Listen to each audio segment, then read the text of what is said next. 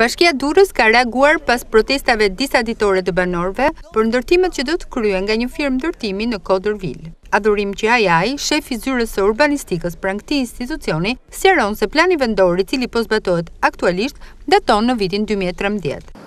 Ankesa nga banorë të cilët ngrenë pretendime edhe në paditurinë e mënyrës se si jepen lejet e ndërtimit, Duhet të dini që ne kemi një plan vendor të ish territorit të bashkisë Durrës që atë kemi në fuqi, për sa i përket territorit të ri marrim në konsideratë legjislacionin kombëtar, por specifikisht për ish bashkinë Durrës, pra ish territorin e bashkisë Durrës, kemi një studim të miratuar, planin e përgjithshëm vendor në vitin dy mijë e trembëdhjetë, pra në periudhën e qeverisë Berisha. e cila, i cili është akoma në fuqi dhe ka një rregullore përkatëse. Ky plan ka marrë në, si gjithë planet e tjera, ka marrë në konsideratë të gjithë morfologjinë e terrenit të bashkisë Durrës të asaj kohe, i cili është bazuar dhe në legjislacionin që ka pas në fuqi. Nga ana tjetër, ai saktëson se parcela në fjalë është një pronë private, ku nuk mungojnë edhe ankesat nga pronarët e truallit për ndërtime informale në këtë hapësirë.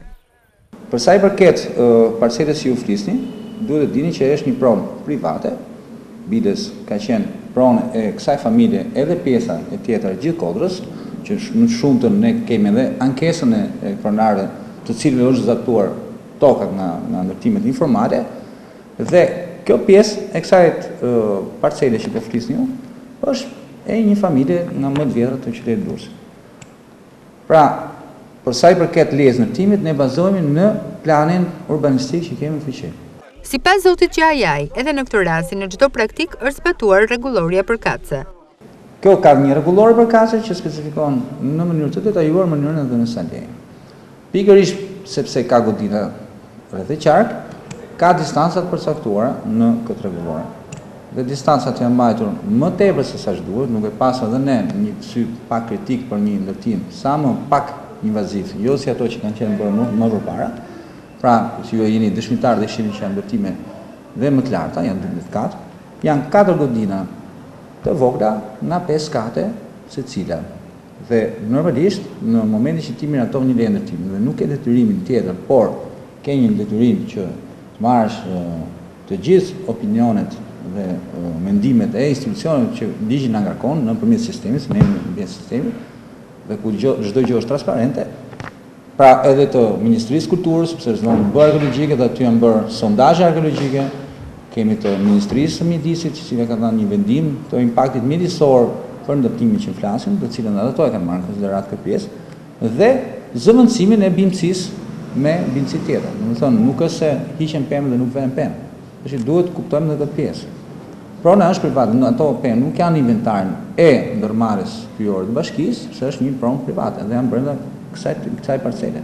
Për sa i përket rrezikut që i kanoset banorëve të zonës, kreu i urbanistikës Durrës argumenton se është shprehur Gjykata e Apelit me një vendim, i cili lejon zbatimin e projektit. Për sa i përket rrezikut që ju citoni, Për rastin në fjalë, ju e dini që para pak ditësh, për saktësisht me datë 16 pesti, ka një vendim të gjykatës apelit, cili shprehet qartazi për, për pjesën e ekspertizës që është bërë rastit konkret, Ne nuk jemi në në faktin që merremi me ekspertiza të të kësaj gjëje, sepse legjislacioni ne na detyron vetëm të marrim deklaratat e përgjegjësisë profesionale të çdo lloj specialisti që merret, pra inxhinierët gjeologë, inxhinierë konstruktorë, të cilët deklarojnë përgjegjësinë e vet të kenë marrë të gjitha masat në mbrojtjen si të godinës që po ndërtojnë, si të dherave që kanë rreth e qark, nga shkarjet nga jo, edhe rrezikshmërinë që mund t'i shkaktojnë godinave që janë përreth e qark. Kjo ndodh kudo në gjithë territorin, jo vetëm aty. Dhe Gjykata e Apelit është shprehur pro firmës së zbatimit, pasi në aktin e ekspertizës, të cilët vetë banorët kanë përpiluar, ka gjetur kontradiktore dhe jo të të bazuar në në legjislacionin në fuqi, mënyrën e trajtimit të asaj ekspertize. Por ka gjetur me vend Aktin e ekspertizës të bërë edhe nga gjykata vetë, por edhe nga nga specialistët e fushës që janë thirrur në në këtë proces. Procesi ka zgjatur jo një muaj, ka ka zgjatur që nga shtatori me sa di unë, nga shtatori vjet deri tani janë pezulluar të gjithë ndërtimet. Pra çdo lloj punimi, pra nuk është bërë asnjë lloj punimi përveçse gërmimit sondazhit arkeologjik të të kërkuar nga vendimi i KKA-së.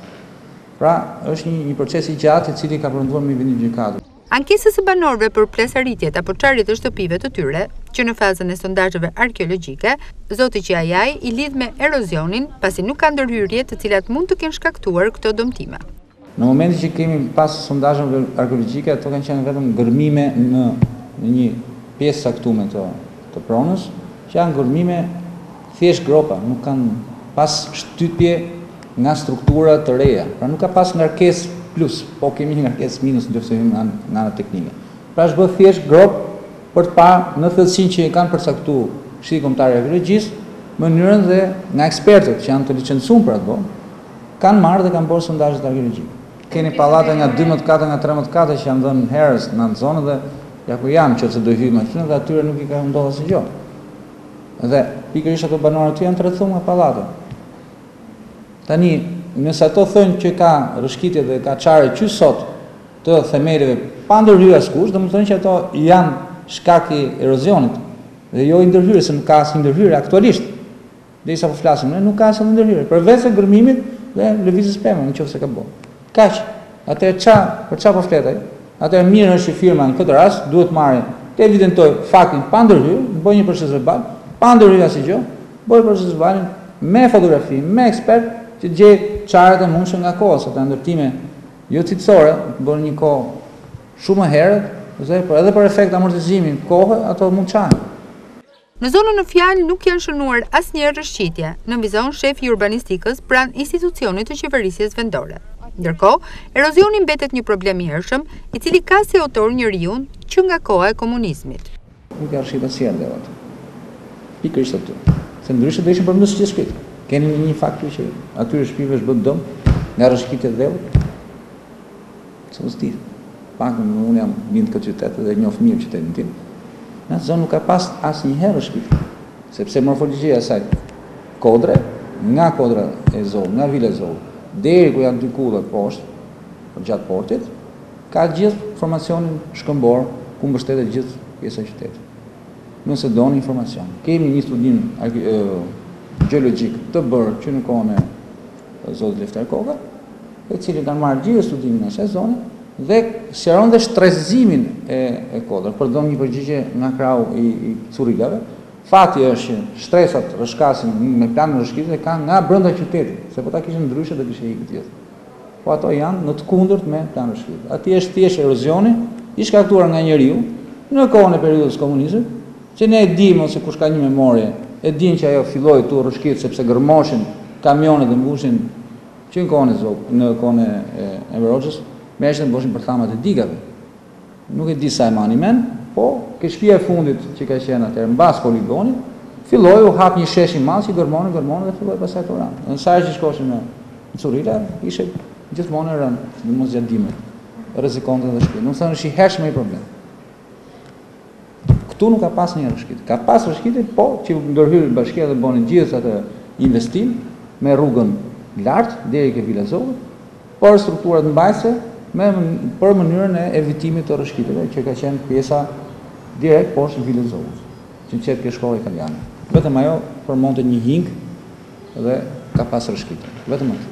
Por, cilat janë garancitë që ofrohen për banorët e kësaj zone nëse ndërtimet do të kryhen? Këtë garanci e jep projektuesi, nuk e jap unë. Unë kam për detyrim t'i marr projektuesit çdo lloj deklarimi. Tashi çka ka shoqëri siguracione që merren me këtë punë. Por ne në qoftë se kanë risk ose mendon që ka risk, firma e ndërtimit për të evitur riskun, ja ngarkon një Policën e blen policën një shoqëri sigurimi për këtë punë. Po nuk ka shans për mendimin tim që të merret ajo punë dhe s'ka asnjë njeri që t'i hyjë një përgjegjësie që nuk i takon. Inxhinieria nuk është opinion. Është shkencë. Është llogaritje. Ka një studim gjeologjik që jep rekomandimet si qysh tek, masa që merren për atë punë, ka një konstruktor që bën llogaritë në bazë studimit gjeologjik dhe jep dhe ai masa që duhen ndërmarrë para se të fillojnë gërmimet. Evidentohet çdo lloj problemi që mund të ketë, merren masa mbrojtëse direkt. Nuk se di tani. Pastaj pallati i madh që është mbrapa, është jashtëzakonisht larg nga të. Është 15 metra larg atë. Për një objekt që është 5 katësh. Kupton? Nuk është se janë ngjit, edhe po rrëshqas. Tash nuk e di. Po fëtis një gjënë nëse do të ndodhë. Nëse do të ndodhë, ka ligje që vendosin për atë punë. Dhe të shkë, i japin secilit përgjegjësinë që ka. Për Bashkinë e Qytetit Bregdetar, studimet sizmiologjike dhe mjedisore të bëra nga firma ndërtuese garantojnë zbatimin e projektit në këtë zonë. Kompania ndërtuese Jedas SHPK mund të kryejë ndërtimin e katër godinave pesëkatëshe sipas institucionit të qeverisjes vendore.